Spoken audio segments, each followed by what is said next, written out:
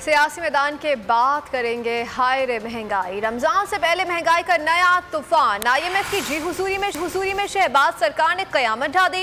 Utility stores पर अशिया खुरनोश की कीमतों में हो शबा इजाफा। दूध, चाय की पत्ती, फ्रेश क्रीम, घी, चावल समेत दीगर अशिया महँगी। नोटिफिकेशन जारी, नई कीमतें फौरी तौर पर नाफिजुल अमल हो गई हैं।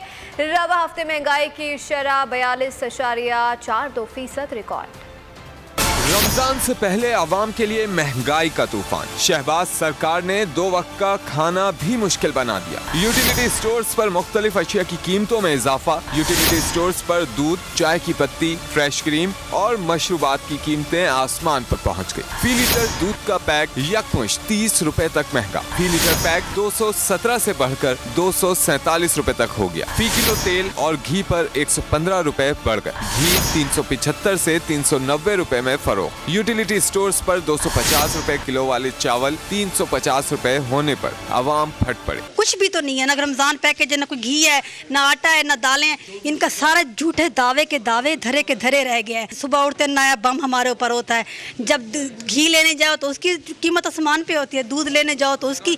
अब बताएँ गरीब 200 किलो दूध कैसे छोटे बच्चों को पिलाए हम 900 ग्राम चाय की पत्ती के पैक में 250 रुपए का इजाफा नई कीमत चौदह सौ नब्बे रूपए ऐसी बढ़कर सत्रह सौ चालीस रूपए हो गई दालों की कीमत में 40 से 150 रुपए तक का इजाफा। फ़ी लीटर जूस 10 और 200 ग्राम क्रीम की कीमत में 20 रुपए बढ़ा दिए गए। इदारा शुमारियात के मुताबिक रवा हफ़्ते महँगाई की शरह बयालीस अशारिया चार दो फ़ीसद रिकॉर्ड की गई आटे और नमक समेत खाने पीने की बत्तीस अशियाए जरूरिया मजीद महँगी हुई। एक हफ़्ते में बीस किलो आटे का थैला सोलह रूपए सैतालीस पैसे मजीद महँगा। कीमत सत्रह सौ पाँच रूपए इक्यावन पैसे हो गई चीनी भी एक रूपए तीन पैसे महँगी, ताज़ा दूध, एक रुपए, उनतालीस पैसे, फ़ी लीटर महँगा। मेरा अगर मेरा हुकूमत होता ना वाला ये हुकूमत जो है ना, मैं समंदर में पूरा डालता था। सब सिर्फ़ अपनी जीप के लिए आते हमारा तुम्हारे लिए नहीं आते दाल मूंग, दो रूपए आठ पैसे, फ़ी किलो मजीद महँगी हो गई। दाल माश, दाल मसूर, चावल, नमक की कीमत में भी इजाफा हुआ। मटन, दो रूपए चौदह पैसे, फ़ी किलो मजीद महँगा। ढाई किलो घी का डब्बा, छह रूपए सत्रह पैसे, मजीद महँगा। इदारा शुमारियात के मुताबिक रवा हफ़्ते प्याज समेत सिर्फ़ नौ अशिया की कीमतें कम हुई। मुल्क में महँगाई ने मिडिल क्लास की कमर तोड़ दी। आवाम का कहना है कि राशन पूरा करना मुश्किल हो गया। महँगाई महँगाई इतनी है कि बिल भरें, बच्चों को पढ़ाएँ या घर का राशन पूरा करें। मेहनत कश तबका को महँगाई में दबकर रह गया है। हुक्मरानों के गिरबान पकड़ने चाहिए। बड़ी मुश्किल हो रही है इसलिए कि वो जो जो तनख्वाह हमारी पहले चलती थी ना पच्चीस तारीख तक अब वो तनख्वाह जो ना पंद्रह तारीख तक ही चलेगी। अठा नौ महीना तो इन्नी महँगाई हो गई है। यकीन करो खुद खुशी हराम ना होंगी तो वो भी कर लेंगे गरीब आदमी के पास जो ज़्यादा जो लग्जरी कहने खाने पीने के हिसाब से एक वाहिद मुर्गी थी जो कभी वो हफ़्ते में एक दो दफ़ा बना लिया करता था ठीक है? तीन सौ रुपये से जो जंप की इसने साढ़े सात सौ, आठ सौ तक।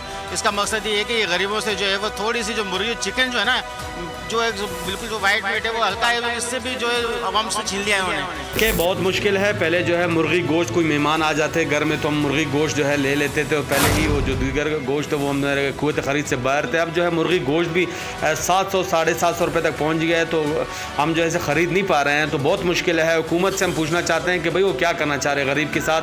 अगर ऐसा ही है एक बार बम गिरा के सबको मार दे बहुत ही मुश्किल है सर। अगर आपको हमारी ये वीडियो पसंद आई है तो लाइक पर क्लिक कीजिए। उफ क्या जुल्म है।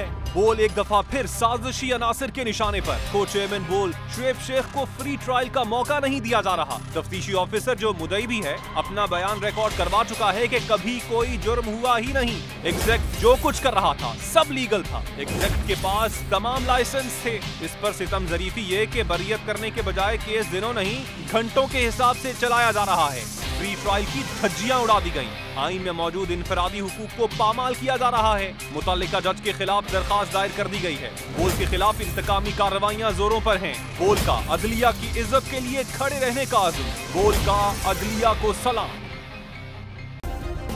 सब्सक्राइब करें और बेल दबाएँ ताकि कोई खबर रह न जाए।